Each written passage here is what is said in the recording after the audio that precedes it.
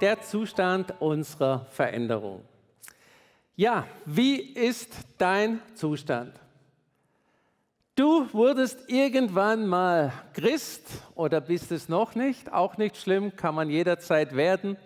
Aber wie ist dein Zustand? Bist du noch am Anfang oder bist du gewachsen? Wenn ich unsere Enkel sehe, die wachsen und wachsen und dann kommt, kommt wieder eine Mama und sagt, ja, stell dir vor, der hat keinen Schnuller mehr, stell dir vor, der braucht keine Windeln mehr und so weiter. Wenn man manchmal bei den Christen schaut, meint man, sie haben noch Schnuller und Windeln, weil sie nicht gewachsen sind. Und die sind natürlich heute nicht hier und die schauen jetzt auch nicht zu, darum sage ich das so offen. Aber wir sollen doch alle wachsen und reif werden. Und da gibt es auch viele Bibelverse in der Bibel. Ich habe so ein Slogan gehört, der heißt, Herr, verändere mich und lass mich, wie ich bin. Und so sind viele unterwegs. Herr, verändere mich und lass mich, wie ich bin. Ihr seht hier den Elefanten, der zu einem Leoparden wird. Der Herr möchte, dass wir uns verändern. Bei der Veränderung, ihr Lieben, müssen wir den Platz verlassen und weitergehen. Und so viele bleiben stehen bleiben einfach stehen. Hier ist schön. Da bleiben wir stehen, da bleibe ich stehen. Das sind meine Freunde, die vielleicht auch stehen bleiben. Wisst ihr, ein ganzes Volk Israel ist in der Wüste eigentlich immer 40 Jahre im Kreis rumgelaufen, weil sie in ihrem Glauben stehen geblieben sind. Und ihr lieben, Verwandlung ist eine Umgestaltung, eine Metamorphose, was man ganz gut darstellen kann bei dem Schmetterling. Wir sehen hier bei dem Schmetterling, der nicht als Schmetterling auf diese Welt kommt, sondern als Raupe mit vielen Füßen und muss auf der Erde kriechen, dann wird es ein Kokon und dann wird es ein Schmetterling. Wir kennen das noch aus der Schulzeit. Aber das ist für die Veränderung auch eine ganz, ganz wichtige Sache. Die Kokonzeit ist für dich beendet. Und die Raubenzeit sowieso. Dass du auf der Erde rumkriegst und rumkriegst und da hoch und von dem getreten wirst und von jenem, die ist für dich zu Ende. Und die Kokonzeit, die Verwandlung, sollte eigentlich auch durchgestanden sein. Und dann verändert sich etwas, was auf dem Boden kriecht, in etwas, das fliegen kann, das dem Himmel zugewandt ist. In Römer 12, Vers 2 lesen wir, passt euch nicht den Maßstäben dieser Welt an, sondern lasst euch von Gott verändern. Lasst euch von Gott verändern, damit euch ganzes, damit euer ganzes Denken neu ausgerichtet wird. Nur dann könnt ihr beurteilen, was Gottes Wille ist, was gut und vollkommen ist und was ihm gefällt. Da steckt so viel drin. Lasst euch verändern. Wenn wir noch in dem Anfangszustand sind, können wir nicht feststellen, was Gott das Vollkommene und was gut für uns ist. Gott möchte uns verändern, unser Denken neu ausrichten. Nicht mehr das Denken, das wir hatten bei der Bekehrung, das war gut und das war viel Freude drin. Aber wir sind, in ein, wir sind gewachsen und in ein neues Denken, wo wir immer mehr hineingeführt werden und Gott uns immer wieder hineinführt führen möchte. Wir haben nicht mehr das Raupendenken, so, ach, wer tritt mir als nächstes auf, auf, den Kopf? Ach, wen kann ich jetzt wieder am Fuß kitzeln? Und was alles, die so, ihr kennt ja das, die, die Merkmale der Raupe, sondern ein Schmetterlingsdenken. Hinauf in die Farbenpracht der Blüten und ihr wisst, äh, wie es im Frühling aussieht und wie wir uns freuen über sehr schöne Schmetterling. Das ist wirklich eine Pracht. Hat noch kaum jemand gesagt, guck mal, was für eine schöne Raupe. Oder guck mal, was für einen niedlichen Kokon, sondern das übersieht man. Aber ein Schmetterling kann man nicht übersehen.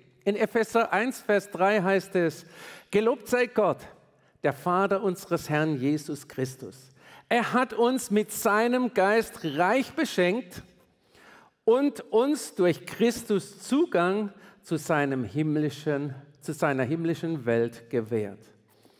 Er hat uns den Zugang, er hat uns den Zugang zum Himmel gewährt. Wir haben den Login, den Zugang zum Himmel. Log dich ein in den Himmel und sag, oh danke Herr, dass du mir den Zugang gegeben hast. Die Raube ist mit der Erde verbunden und ihr Lieben, der Schmetterling mit dem Himmel. Und ich habe euch hier ein Bild mitgebracht, dass das ein bisschen darstellt, wir wollen Schmetterling sein und benehmen uns wie eine Raupe. Ach, ist das Leben schwer, ach, ist das mühsam und hier hoch und nein, da komme ich nicht hoch und ach ja und das und die Not und jene Not.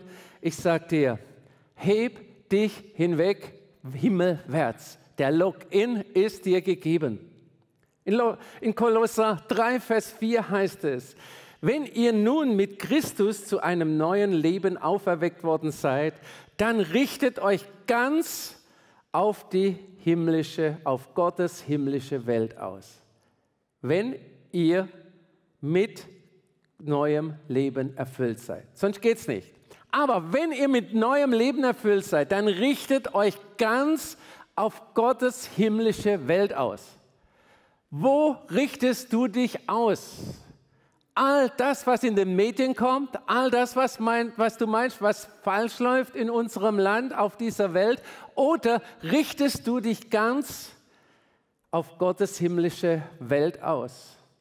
So viele kümmern sich um andere, die sie meinen, die falsch laufen. Und ich sage dir, richte dich auf Gottes himmlische Welt aus. Sonst im Gegenschluss heißt es ja, wenn ihr nun mit Christus zu neuem Leben auferweckt seid. Wenn wir nicht zum neuen Leben auferweckt sind, dann meckern wir an allem herum, an Menschen, an Systemen und an allem meckern wir herum.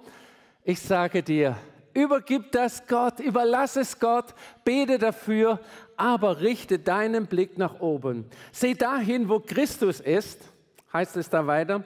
Seht dahin, wo Christus ist, auf dem Ehrenplatz an Gottes rechter Seite. Ja, richtet eure Gedanken auf Gottes himmlische Welt und nicht auf das, was diese Welt ausmacht. Und dann geht es weiter in Vers 3. Denn für sie seid ihr gestorben, aber Gott hat euch mit Christus zu neuem Leben auferweckt. Auch wenn das jetzt noch verborgen ist. Doch wenn Christus euer Leben erscheinen wird, dann wird jeder sehen, dass ihr an seiner Herrlichkeit Anteil habt. Du hast Anteil an seiner Herrlichkeit. Nicht Anteil an der Erde, Anteil an seiner Herrlichkeit. Wieso hast du oder nimmst du vielleicht Anteil an Dingen, die für dich querlaufen und die dich ärgern die du meinst, du musst du unbedingt verändern? Ich sage dir, was wir gerade gelesen haben, habe himmlische Gedanken. Habe himmlische Gedanken und nicht richtende Gedanken auf dieser Erde. Ich ändere mein, ich ändere mein Denken. Dann, wie ich vorgelesen habe, dann wird jeder sehen, dass ihr an seiner Herrlichkeit Anteil habt. Wenn du an Gottes Herrlichkeit Anteil hast, dann leuchtest du. Wenn du an Gottes Herrlichkeit Anteil hast, dann strahlst du, dann widerspiegelst du Gottes Ebenbild und, oder Gottes Bild und wir sind dann das Ebenbild. Und das ist das, was wir sein sollen.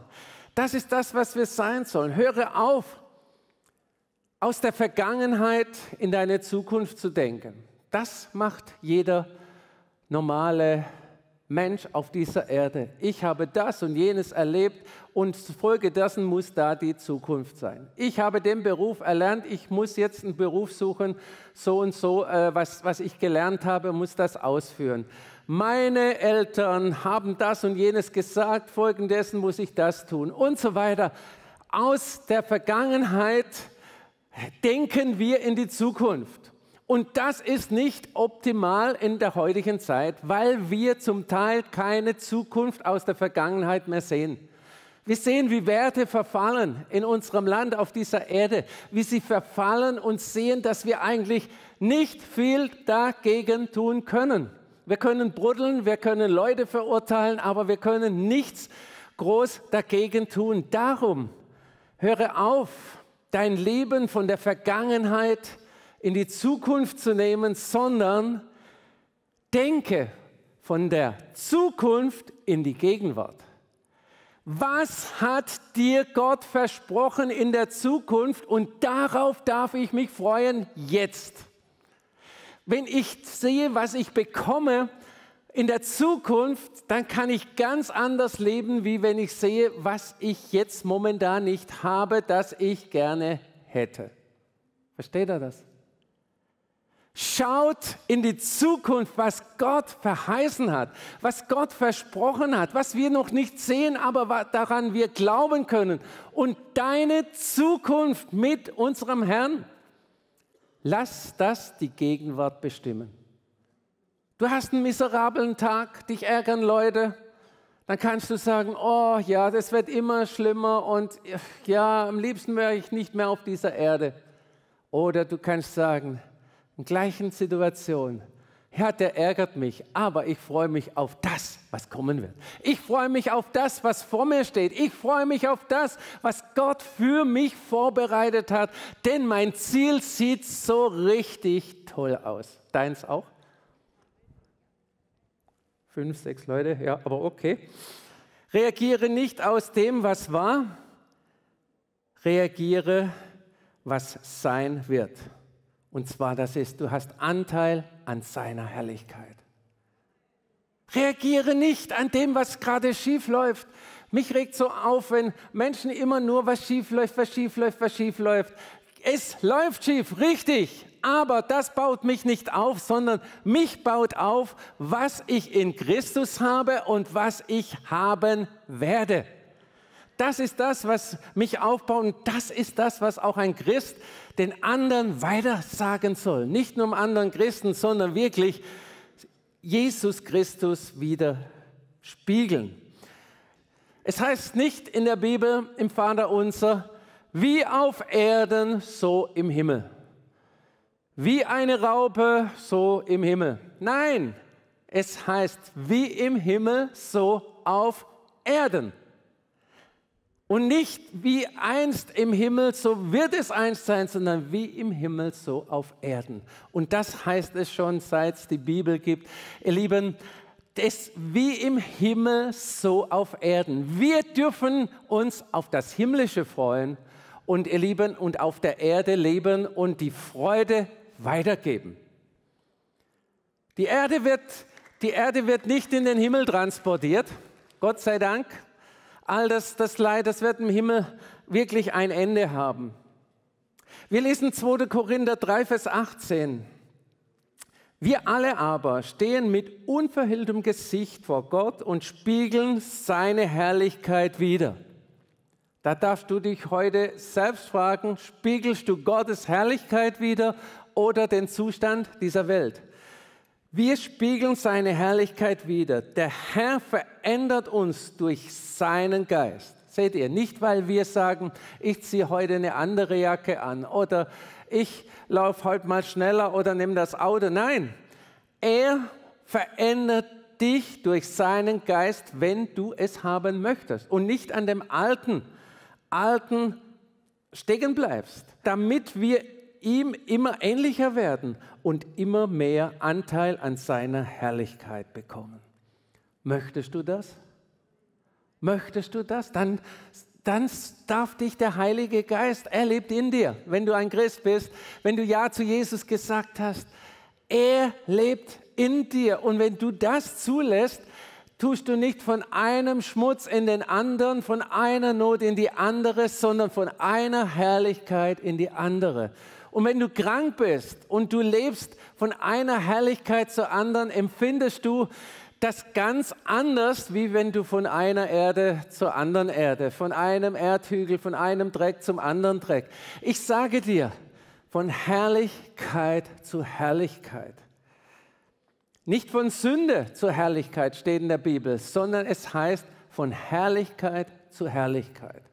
Und ich sage dir, wenn deine Seele von Herrlichkeit zu Herrlichkeit lebt und dein Leib vielleicht krank ist oder irgendwo wehtut, ich sage dir, das ist wirklich Heilungskraft in dir von Herrlichkeit zu Herrlichkeit.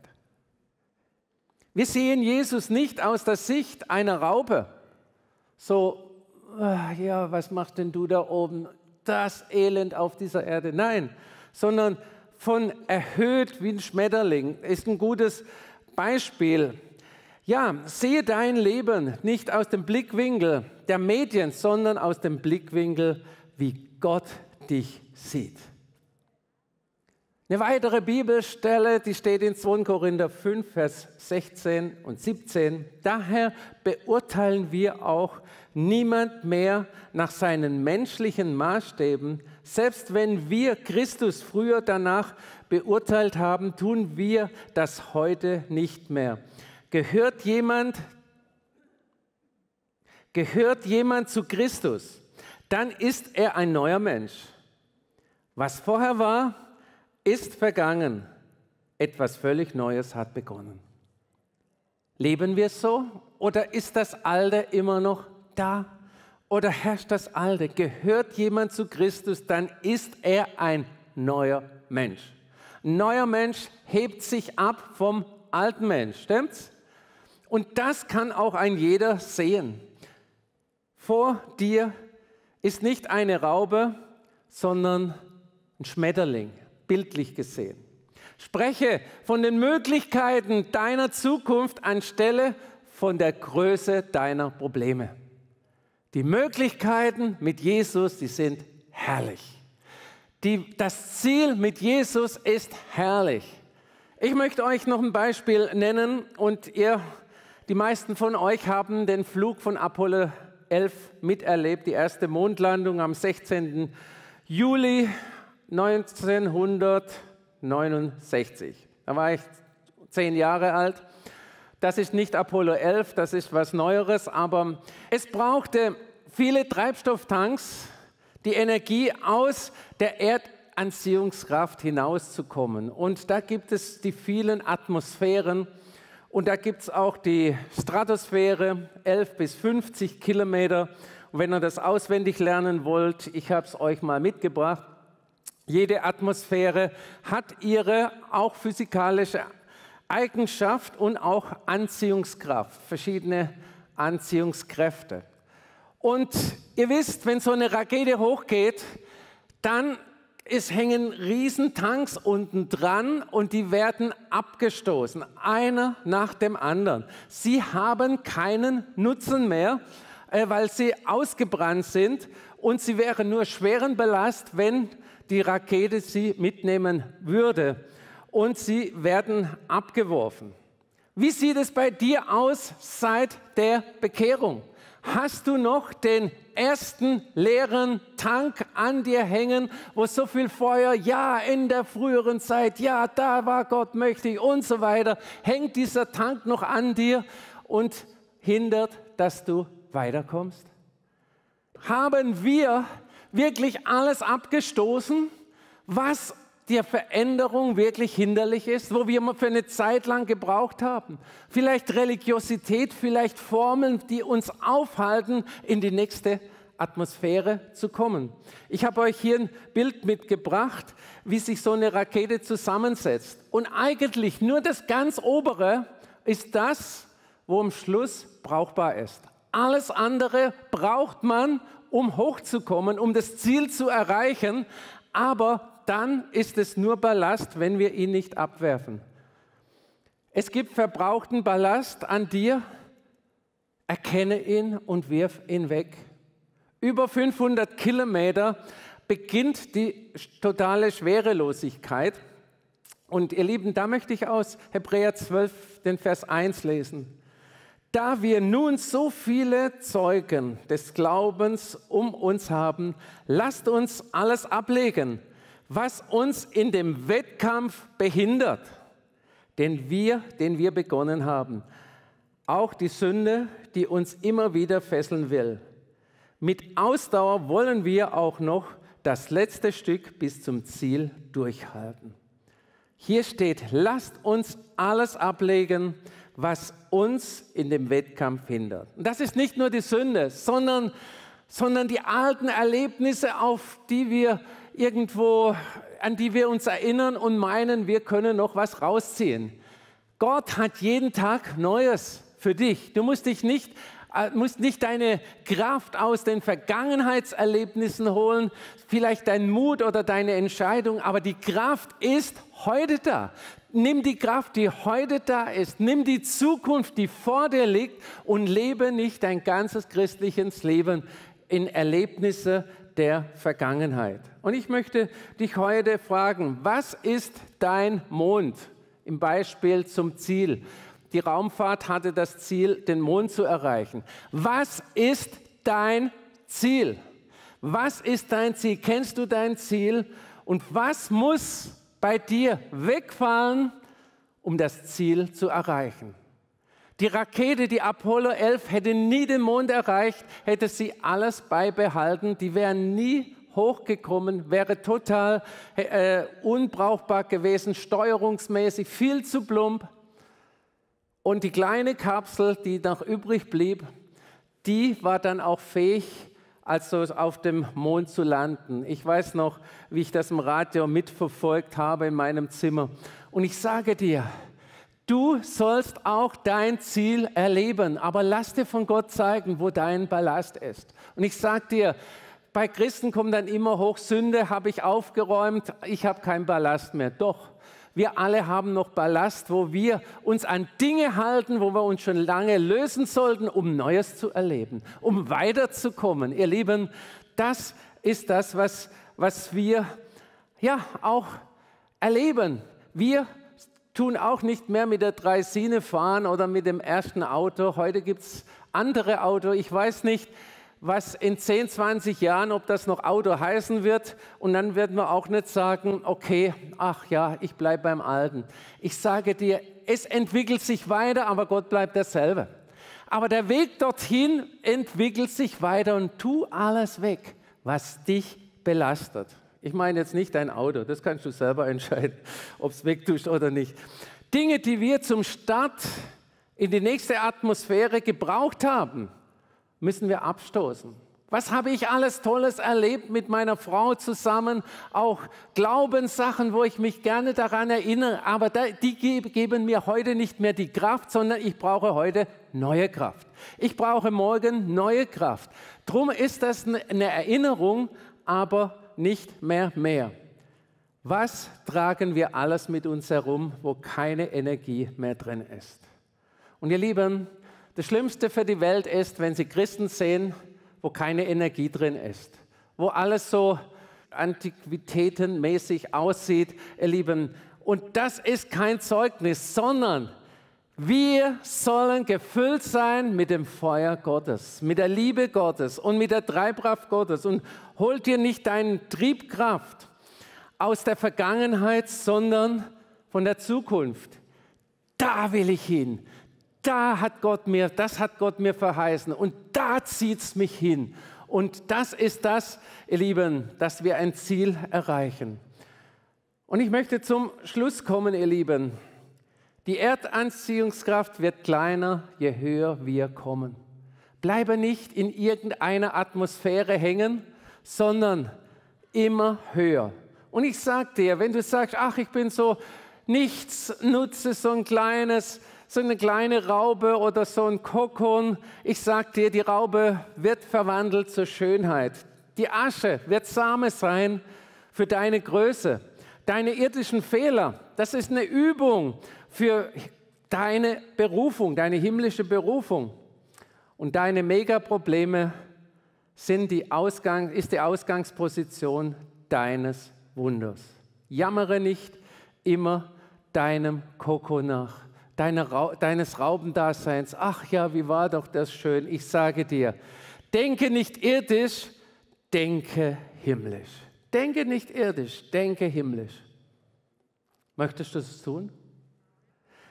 Es ist deine Entscheidung, in welchem Veränderungszustand du auf das Ziel, auf dem Ziel, auf dem Weg zum Ziel unterwegs bist.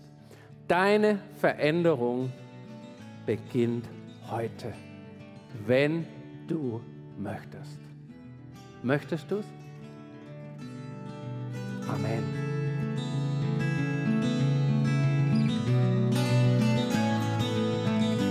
Hol dir unser Magazin nach Hause. Natürlich kostenlos. Das und noch vieles mehr findest du auf missionswerk.de. Wir freuen uns auf dich.